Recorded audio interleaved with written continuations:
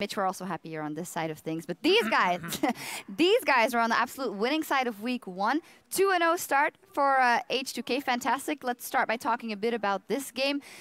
Tell me about the draft. We saw a double tier comp coming out, you know, scaling from OG. That Ryze was in the second rotation. How did that influence, if at all, your plans, Pr0lly? Hmm. It definitely made for a lot more aggression from our side. Uh, normally when I talk about the game, it's always like we should approach this in you know a hundred percent way.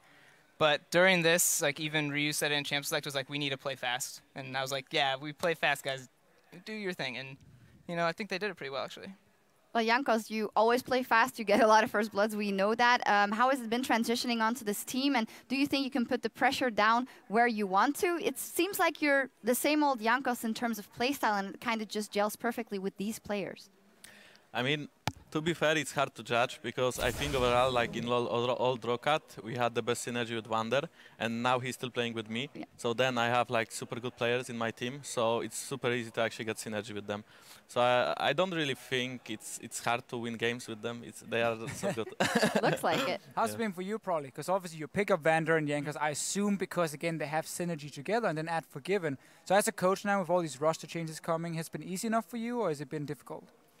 No, it's definitely been really hard because I had to find out where everyone is in terms of like game knowledge, and then it was hard also being wrong. I was a lot more wrong this split than I was last split because I'm with like brand new players, and normally when I look at bot lane, like I have an idea, but now I'm like with two new players, Forgiven and Vander, and I'm like, is is this right? And they're like, no, no, no, no, you're all wrong about that. I'm like, all right, that's cool. and then and then I look at jungle and I'm like, why did why did we path this way? Isn't this better? And Jankos gives me like 10 reasons why I'm wrong, and I'm like, yeah. Okay, I'm wrong about that too. So it's it's difficult being wrong a lot uh -huh. more. Yeah, I know that. It's not that fun. I mean, but it must be a learning process. And we talked to Forgiven yesterday in the interview, and he said uh, we are a tactical team. We don't play solo queue, and that was definitely the takeaway yesterday and also today. We're going to take a look at a replay where you guys grouped mid and just played very effectively. Deficio wanted to run through this one because it seems that you're always S5 when you're making these moves. It's just a move we have seen also yesterday from you guys, and at IEM Cologne, you were always focusing so much on taking down early towers.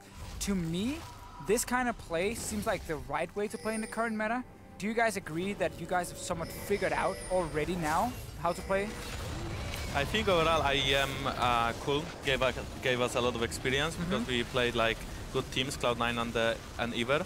So right now we kind of know how to play and we knew as well that we can siege and that they don't have like really good wave clear if they don't have uh, Lucian uh, R. So it was actually pretty easy to just group mid and, and try to force things. And as well this fight was like really close, um, but we like were we had uh, way more HP, so we just kind of forced the turret, and then from that we could snowball the game really easily.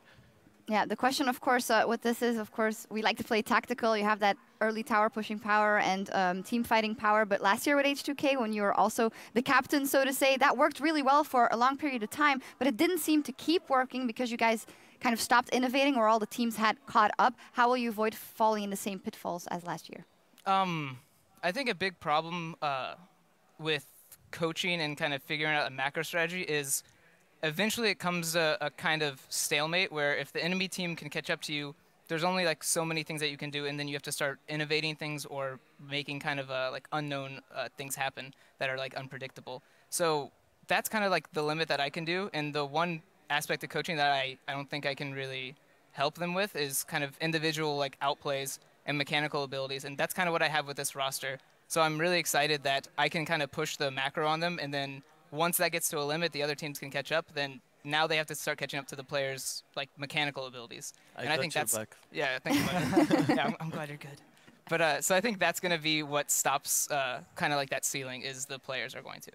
So looking at some of the other teams now, because we have Vitality, Fnatic, new lineup, Origin, you just played them, just made one roster change. Those were the teams we were kind of looking at as the top four teams together with you guys. How would you rate some of these new teams? And do you think they can become like world-class teams?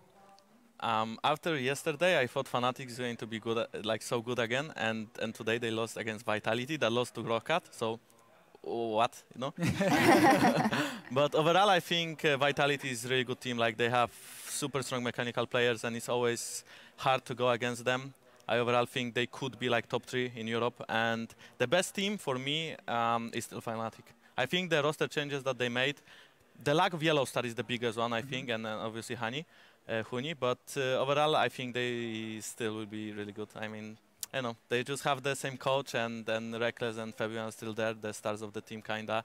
Um, and then who is the third team? We are the third team, let's say, and then fourth team. There's one more t- good team, right? OG. OG, yeah, yeah. yeah.